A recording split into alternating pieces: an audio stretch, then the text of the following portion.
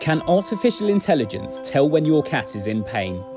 That's what Japanese smartphone app CatsMe says it can do.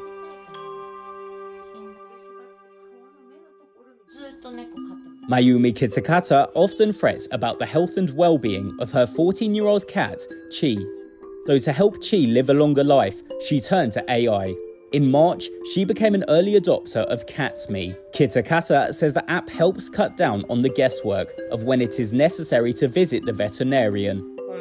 黄色くなってるのが痛みがあるっていう判断がされた時で、まあ、それがちょっと続いたりすると獣医さんにうちの場合は電話で相談してこういうふうになんか何日も痛みがある表示が続いてしまった時はやっぱりおかしいなっていうので The app was developed by tech startup Carelogy and researchers at Nihon University, who trained the AI mode on 6,000 pictures of cats. Professor Kazuya Edamura co-developed the app. その痛みがある顔っていうのを我々スコア化してそれがどれぐらい今の顔に こう合致してるかっていうのを AI で判定するっていうソフトになってます。